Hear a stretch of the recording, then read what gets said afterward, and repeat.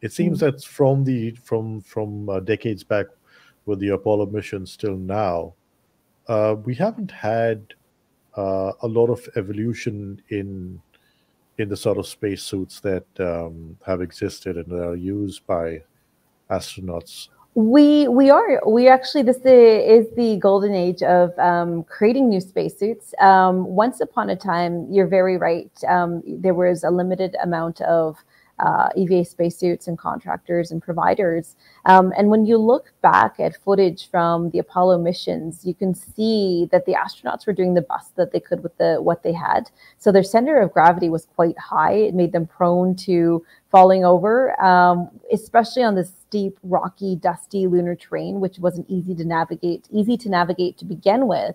Um, and then the um, their ability to bend at the waist was quite limited based on where their life support pack was. So they were really more using their knees to navigate. So it was actually quite exhausting. Um, and in addition, there was a lot of, of uh, pressure points. Um, and that was also a known issue with EVA suits during the shuttle uh, and even the ISS era, creating um, uh, subungual hemorrhages, so bruises under the fingernails, losing fingernails, creating pressure points on the shoulders. And so all of these lessons learned are critical towards evolving the next generation of spacesuits so we can get better fit, better mobility, better performance, and uh, better endurance for astronauts when they're out on these um, EVAs, which are already hours long, um, require lots of energy, lots of focus, lots of concentration, um, and then also the survivability in these spacesuits. So the PLSS, the portable life support system, that little backpack um, on their backs, does a lot of heavy lifting in terms of providing adequate oxygen- oxygenation, temperature control, humidity control, and scrubbing, removing um, noxious um, uh, gases such as CO2 buildup from the spacesuit. Um, so being able to have a longer life um, is critical as we look towards doing more ambitious um, extravehicular activities on the moon and beyond. So, um, what would be the top three engineering challenges from a medical uh, point of view to ensure that our astronauts are protected when they, let's say, work on a moon base or on Mars?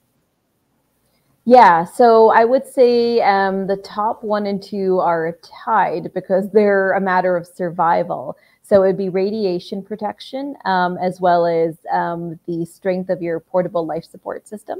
Um, so those those are non-negotiable. You you really the, it's a place where you don't want to cut corners um, because the radiation um, exposure beyond uh, in deep space is you know is can be one of the showstopper showstoppers if we don't adequately mitigate the exposure for astronauts. And then the last one would come down to comfort.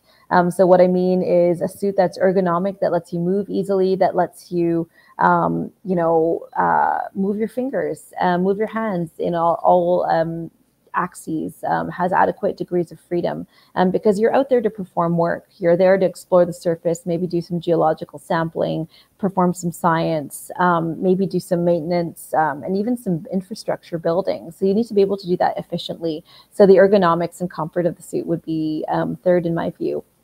You know, what we've seen in the past five years alone for evolution, you know, the fit of gloves, the fits of uh, suits, it's it's incredible. Um, and then, you know, I forgot to mention a fourth item on my wish list is uh, lunar dust repulsion. We know mm. from the Apollo era that the lunar dust, the regolith is so fine and sticky. It got everywhere. It got in the suit joints. It clogged them up. So if they're able to, um, by virtue of their, even their, their polarity, repel lunar dust, um, which I believe has a negative charge, that's another bonus. Um, we're definitely getting there. Even SpaceX has entered the spacesuit game. They familiar about they're very um, famously had their IVA suits um, for their um, Crew Dragon um, missions. Those um, very well recognized white suits that are out there. And now with the upcoming Polaris Dawn civilian mission, they're pushing the boundaries because the commander of that mission, Jared Isaacman, has um, said that they're going to do the first civilian EVA or spacewalk.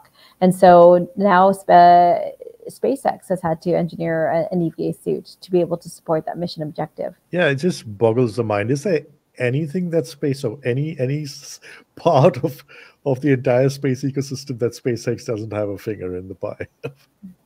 You know, they're very committed to be humanity being a multi-planetary um, species. Yes. Species. So I think I think their activities definitely reflect that.